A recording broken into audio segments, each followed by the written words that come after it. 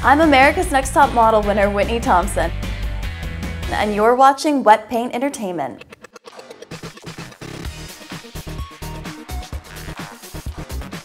And then we wanted to start off by doing a little word association. I don't know if you.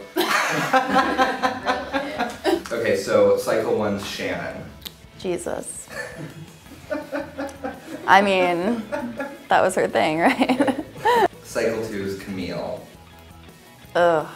I can't say bad words. I don't know. like, That's fine. That's mean. Cycle four is Brittany.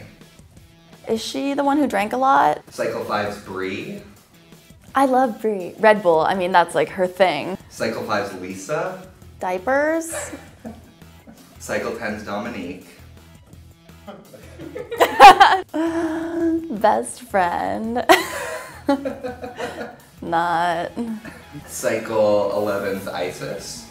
Oh, am I allowed to say tranny? I love Isis, but sh- tranny, right? it's endearing. Um, cycle 11's Sheena. Ghetto. That girl's ghetto. Cycle 16's Alexandria. Oh, diva. Total diva. Diva. Total diva.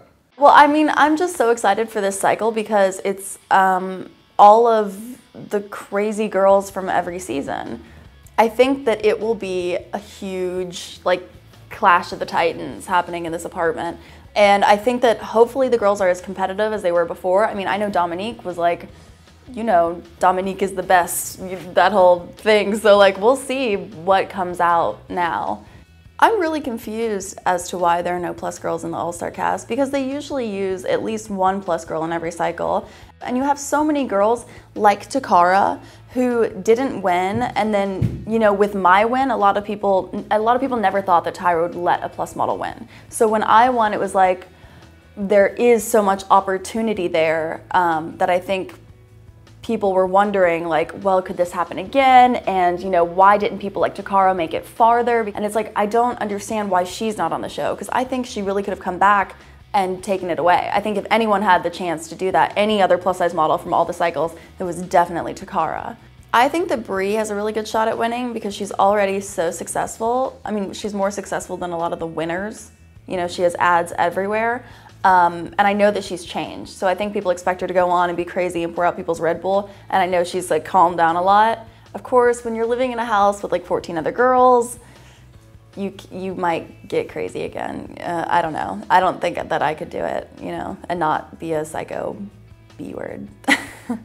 you know, I want to see the girls again and see what they've learned because like Shannon shot eight years ago maybe she's a really amazing model now. You know, there's a lot of things on the show that you're like, oh, well, she had a really bad walk, or she was, you know, she didn't know how to work her face.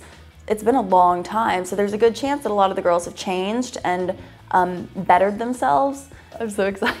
It's gonna be so much drama. That's why we're watching this season. It's drama. It's not about the shoot, you know? But who cares?